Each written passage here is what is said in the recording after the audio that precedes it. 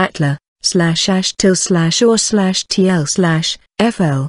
434 to 453, frequently referred to as Attila the Hun, was the ruler of the Huns from 434 until his death in March 453. Attila was a leader of the Hunnic Empire, which stretched from the Ural River to the Rhine River and from the Danube River to the Baltic Sea. During his reign, he was one of the most feared enemies of the Western and Eastern Roman empires. He crossed the Danube twice and plundered the Balkans, but was unable to take Constantinople. His unsuccessful campaign in Persia was followed in 441 by an invasion of the Eastern Roman Empire, the success of which emboldened Attila to invade the West. He also attempted to conquer Roman Gaul, modern France, crossing the Rhine in 451 and marching as far as Aurelianum, Before being defeated at the Battle of the Catalaunian Plains. He subsequently invaded Italy, devastating the northern provinces,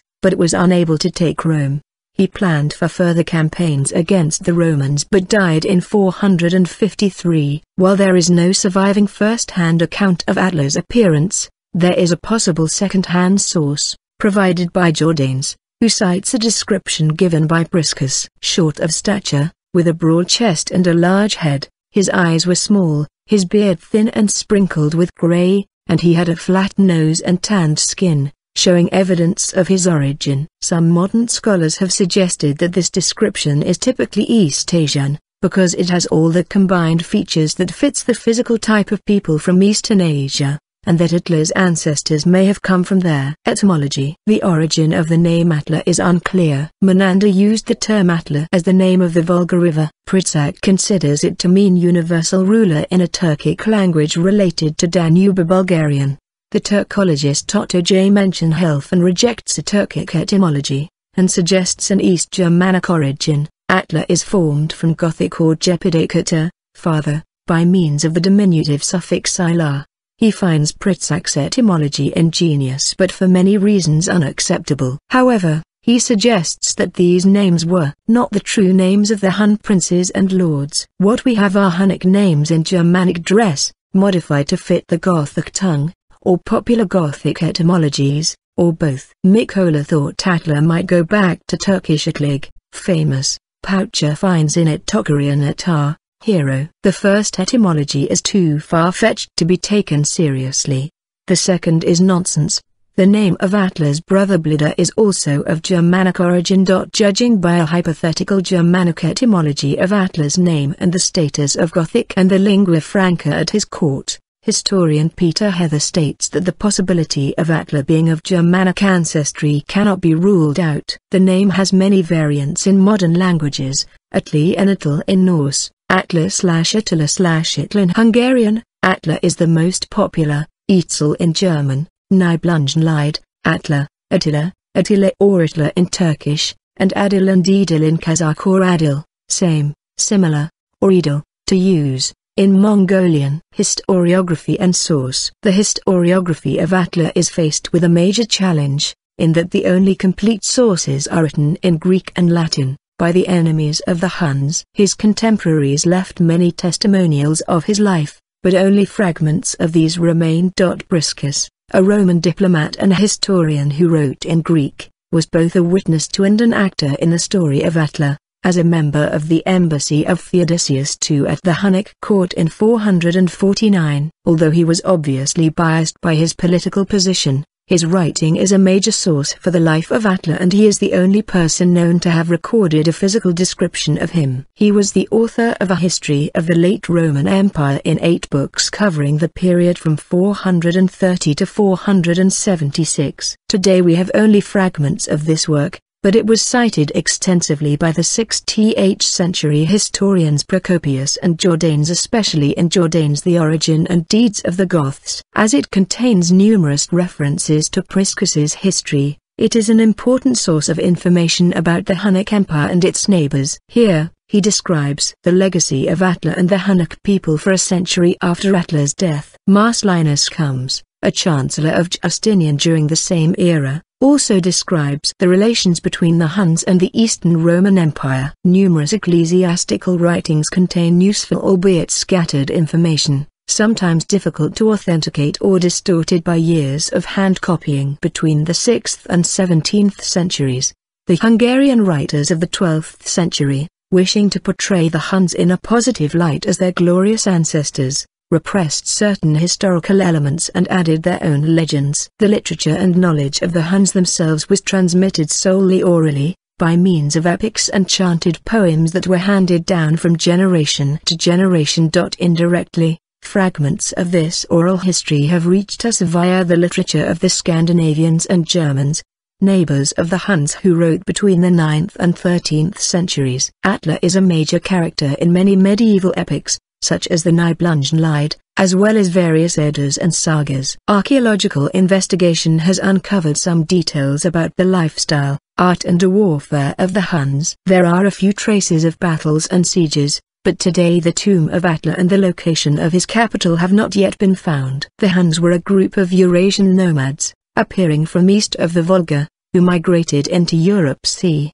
370 and built up an enormous empire there. Their main military techniques were mounted archery and javelin throwing. They were possibly the descendants of the Xiongnu, Xiongnu, who had been northern neighbors of China 300 years before and maybe the first expansion of Turkic people across Eurasia. Even though they were in the process of developing settlements before their arrival in Europe, the Huns were a society of pastoral warriors whose primary form of nourishment was meat and milk, products of their herds. The origin and language of the Huns has been the subject of debate for centuries. According to some theories, their leaders at least may have spoken a Turkic language, perhaps closest to the modern Chuvash language. One scholar suggests a relationship to Yenian. According to the Encyclopedia of European Peoples, the Huns, especially those who migrated to the west, may have been a combination of Central Asian Turkic, Mongolic, and Ugric stocks. Attila's father,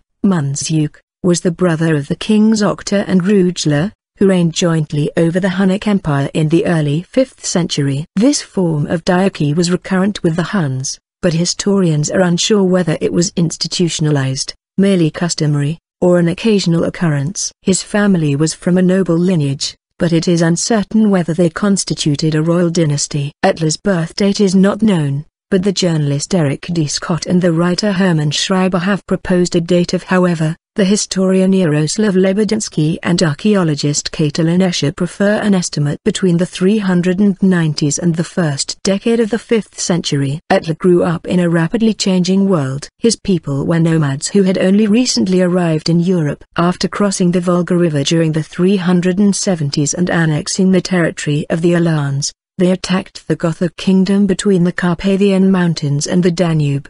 They were a very mobile people, whose mounted archers had acquired a reputation of invincibility, and the Germanic tribes seemed unable to withstand them. Vast populations fleeing the Huns moved from Germania into the Roman Empire in the west and south, and along the banks of the Rhine and Danube. In 376, the Goths crossed the Danube, initially submitting to the Romans but soon rebelling against the Emperor Valens, whom they killed in the Battle of Adrianople in 378.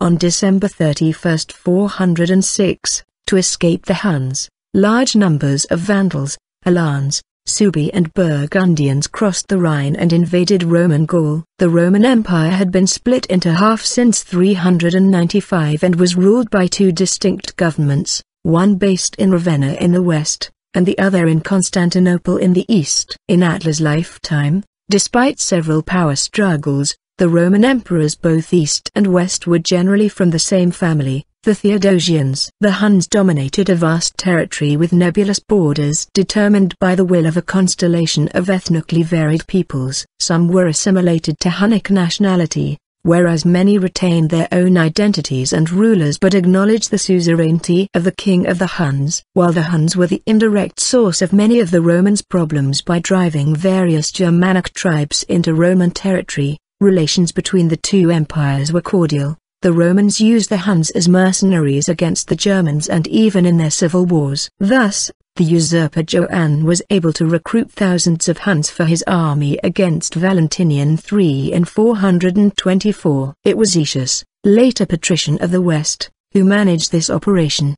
They exchanged ambassadors and hostages, the alliance lasting from 401 to 450 and permitting the Romans numerous military victories. The Huns considered the Romans to be paying them tribute, whereas the Romans preferred to view this as payment for services rendered. By the time Attila came of age during the reign of his uncle Rugila, the Huns had become a great power, to the point that the Patriarch of Constantinople, Nestorius, deplored the situation with these words. They have become both masters and slaves of the Romans. The death of Rugila, also known as Ruaruga, in 434 left the sons of his brother Mundzuk, Attila and Bleda, Buda, in control of the united Hun tribes. At the time of two brothers' accession, the Hun tribes were bargaining with Eastern Roman Emperor Theodosius II's envoys for the return of several renegades, possibly Hunnic nobles who disagreed with the brothers' assumption of leadership who had taken refuge within the Eastern Roman Empire. The following year Attila and Bleda met with the imperial legation at Margus,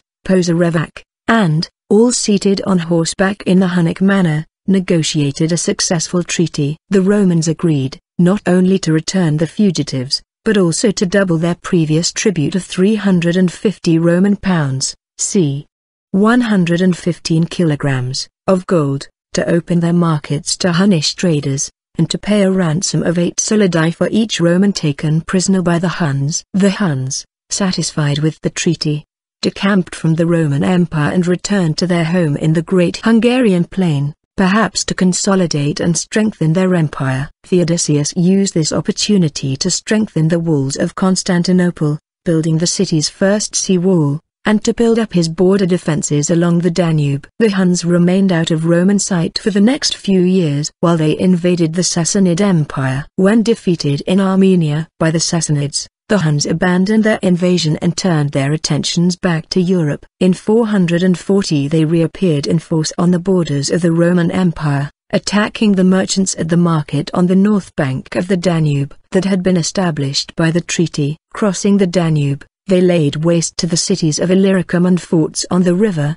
including, according to Priscus, Viminacium, a city of Moesia. Their advance began at Margus, where they demanded that the Romans turn over a bishop who had retained property that Attila regarded as his. While the Romans discussed turning the bishop over, he slipped away secretly to the Huns and betrayed the city to them. While the Huns attacked city-states along the Danube, the Vandals led by Gaiseric captured the western Roman province of Africa and its capital of Carthage. Carthage was the richest province of the Western Empire and a main source of food for Rome. The Sassanid Shah Yazdegerd II invaded Armenia in 441. The Romans stripped the Balkan area of forces, sending them to Sicily in order to mount an expedition against the Vandals in Africa. This left Attila and Bleda a clear path through Illyricum into the Balkans which they invaded in 441. The Hunnish army sacked Margus and Viminacium, and then took Singidunum,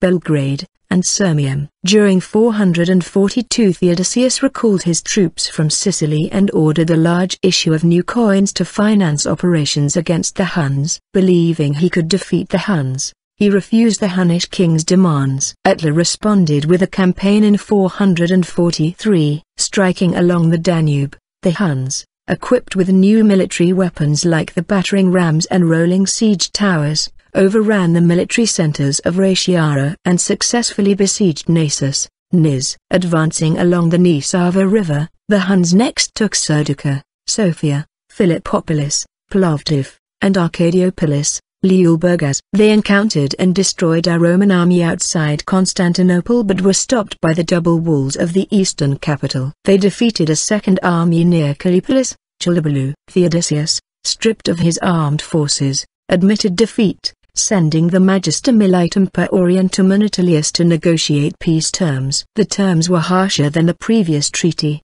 The emperor agreed to hand over 6,000 Roman pounds, c. 2,000 kilograms, of gold as punishment for having disobeyed the terms of the treaty during the invasion. The yearly tribute was tripled, rising to 2,100 Roman pounds, c.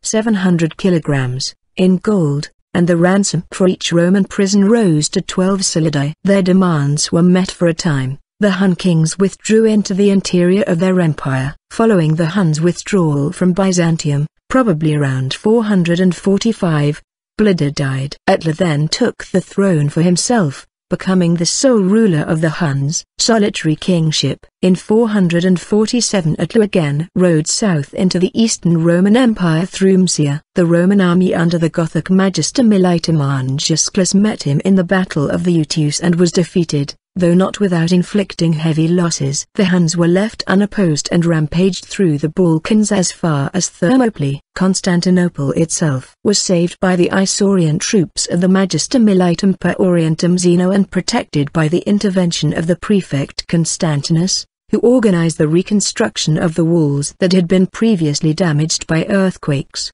and, in some places, to construct a new line of fortification in front of the old. An account of this invasion survives.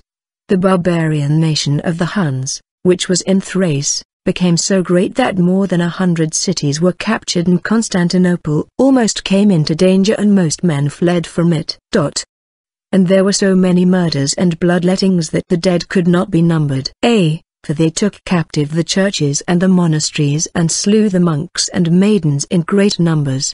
Callinicus, in his life of Saint Hypatius. In the west the general path of the Hun forces in the invasion of Gaul. In 450 Attila proclaimed his intent to attack the Visigoth kingdom of Toulouse by making an alliance with Emperor Valentinian III. He had previously been on good terms with the Western Roman Empire and its influential general Flavius Aetius. Aetius had spent a brief exile among the Huns in 433 and the troops Attila provided against the Goths and Bagaudae had helped earn him the largely honorary title of Magister Militum in the West. The gifts and diplomatic efforts of Gay Gaiseric, who opposed and feared the Visigoths, may also have influenced Attila's plans. However, Valentinian's sister was Honoria, who, in order to escape her forced betrothal to a Roman senator, had sent the Hunnish king a plea for help, and her engagement ring, in the spring of 450. Though Honoria may not have intended a proposal of marriage,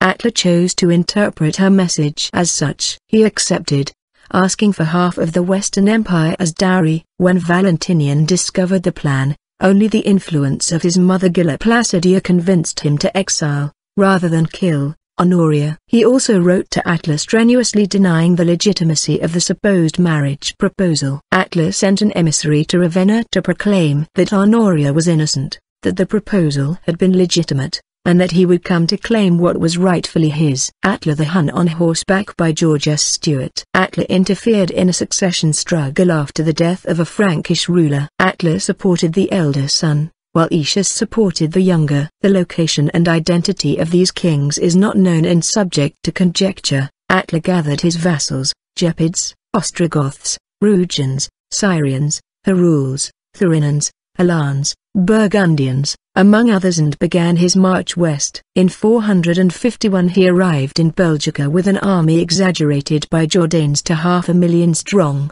J. B.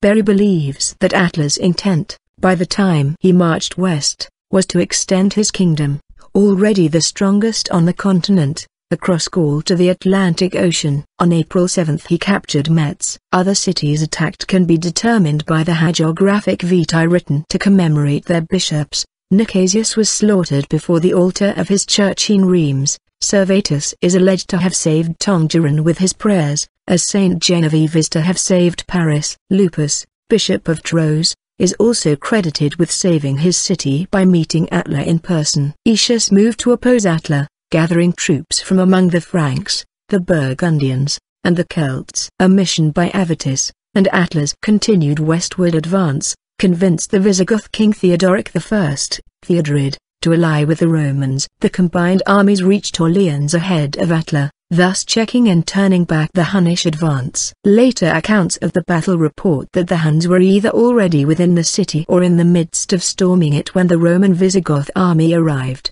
Jordanes mentions no such thing. Aetius gave chase and caught the Huns at a place usually assumed to be near Ornum, modern Chalons and Champagne. The two armies clashed in the Battle of Chalons, whose outcome is commonly considered to be a strategic victory for the Visigothic-Roman alliance. Theodoric was killed in the fighting and Aetius failed to press his advantage, according to Edward Gibbon and Edward Creasy. because he feared the consequences of an overwhelming Visigothic triumph as much as he did a defeat. From Aetius' point of view, the best outcome was what occurred. Theodoric died, Attila was in retreat and disarray, and the Romans had the benefit of appearing victorious. Invasion of Italy and death. Attila returned in 452 to claim his marriage to Honoria anew, invading and ravaging Italy along the way. The city of Venice was founded as a result of these attacks when the residents fled to small islands in the Venetian lagoon. His army sacked numerous cities and razed Aquileia so completely that it was afterwards hard to recognize its original site. Legend has it he had his soldiers carry dirt in their helmets to build a hill north of Aquileia from which he could watch the destruction of the city, thus founding the town of Udine where a castle now stands on the legendary hill. Aetius, who lacked the strength to offer battle, managed to harass and slow Attila's advance with only a shadow force. Attila finally halted at the river Po. By this point disease and starvation may have broken out in Attila's camp, thus helping to stop his invasion. Emperor Valentinian III sent three envoys, the high civilian officers Gennadius Avienus and Trigetius, as well as the Bishop of Rome Leo I, who met Attila at Mincio in the vicinity of Mantua, and obtained from him the promise that he would withdraw from Italy and negotiate peace with the emperor. Prosper of Aquitaine gives a short description of the historic meeting, but gives all the credit of the successful negotiation to Leo. Priscus reports that superstitious fear of the fate of Alaric, who died shortly after sacking Rome in 410, gave him pause. In reality, Italy had suffered from a terrible famine in 451 and her crops were faring little better in 452. Atla's devastating invasion of the plains of northern Italy this year did not improve the harvest. To advance on Rome would have required supplies which were not available in Italy, and taking the city would not have improved Atla's supply situation. Therefore, it was more profitable for Atla to conclude peace and retreat back to his homeland. Secondly, an East Roman force had crossed the Danube under the command of another officer also named Aetius, who had participated in the Council of Chalcedon the previous year, and proceeded to defeat the Huns who had been left behind by Attila to safeguard their home territories. Attila, hence, faced heavy human and natural pressures to retire from Italy without ever setting foot south of the Po. As Hydatius writes in his Chronica Minora, the Huns, who had been plundering Italy and who had also stormed a number of cities, were victims of divine punishment, being visited with heaven-sent disasters, famine and some kind of disaster. In addition, they were slaughtered by auxiliaries sent by the Emperor Marcian and led by Aetius. At the same time, they were crushed in their home settlements. Thus crushed, they made peace with the Romans and all retired to their homes. Hydatius, Minutes, 2 pp. 26 ff. The Huns, led by Attila, invade Italy, Attila, the Scourge of God, by Ulpiano Checa, as reproduced in Beacon Lights of History, Volume 4 by John Lord. After Attila left Italy and returned to his palace across the Danube, he planned to strike at Constantinople again and reclaim the tribute which Marcian had stopped. Marcian was the successor of Theodosius and had ceased paying tribute in late 450. While Attila was occupied in the west, multiple invasions by the Huns and others had left the Balkans with little to plunder. However, Attila died in the early months of 453. The conventional account, from Priscus, says that at a feast celebrating his latest marriage to the beautiful and young Ildiko, if uncorrupted, the name suggests a Gothic, more likely Ostrogoth origin, he suffered a severe nosebleed and choked to death in a stupor. An alternative theory is that he succumbed to internal bleeding after heavy drinking, possibly a condition called esophageal varices, where dilated veins in the lower part of the esophagus rupture leading to death by hemorrhage. Another account of his death first recorded 80 years after the events by the Roman chronicler Marcellinus comes, reports that Attila, king of the Huns and ravager of the provinces of Europe, was pierced by the hand and blade of his wife. The Volsunga saga and the Poetic Edda also claim that King Atli, Attila, died at the hands of his wife, Gudrun. Most scholars reject these accounts as no more than hearsay, preferring instead the account given by Atla's contemporary Priscus. Priscus' version, however, has recently come under renewed scrutiny by Michael A. Babcock. Based on detailed philological analysis, Babcock concludes that the account of natural death, given by Priscus, was an ecclesiastical cover story in that Emperor Marcian, who ruled the Eastern Roman Empire from 450 to 457, was the political force behind Attla's death. Jordanes says, the greatest of all warriors should be mourned with no feminine lamentations and with no tears, but with the blood of men. His horsemen galloped in circles around the silken tent where Attla lay in state, singing in his dirge, according to Cassiodorus and Jordanes, who can rate this as death, when none believes it calls for vengeance. Then they celebrated a strava, lamentation, over his burial place with great feasting. Legend says that he was laid to rest in a triple coffin made of gold, silver, and iron, along with some of the spoils of his conquests.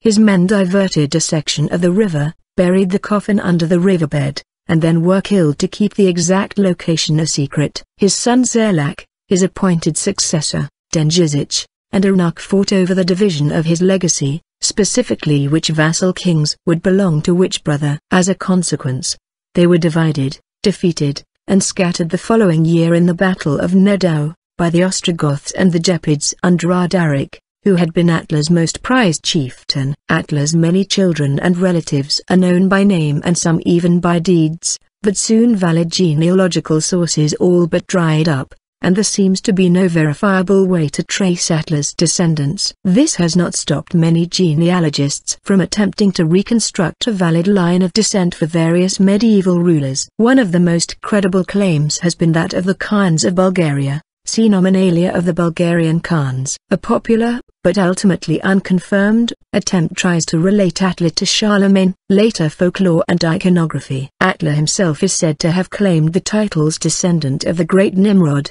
and king of the Huns, the Goths, the Danes, and the Medes the last two peoples being mentioned to show the extent of his control over subject nations even on the peripheries of his domain. Jordanes embellished the report of Priscus, reporting that Attla had possessed the holy war sword of the Scythians, which was given to him by Mars and made him a prince of the entire world. Attla was the standard source of legitimacy on the European steppe until Genghis Khan. By the end of the 12th century the royal court of Hungary proclaimed their descent from Attla. Lambert of Hersfeld's contemporary chronicles report that shortly before the year 1071, the sword of Attla had been presented to Otto of Nordheim by the exiled queen of Hungary, Anastasia of Kiev. This sword, a cavalry saber now in the Kunsthistorisches an anonymous chronicler of the medieval period represented the meeting of Pope Leo and Attila as attended also by Saint Peter and Saint Paul, a miraculous tale calculated to meet the taste of the time. This apotheosis was later portrayed artistically by the Renaissance artist Raphael and sculptor Algardi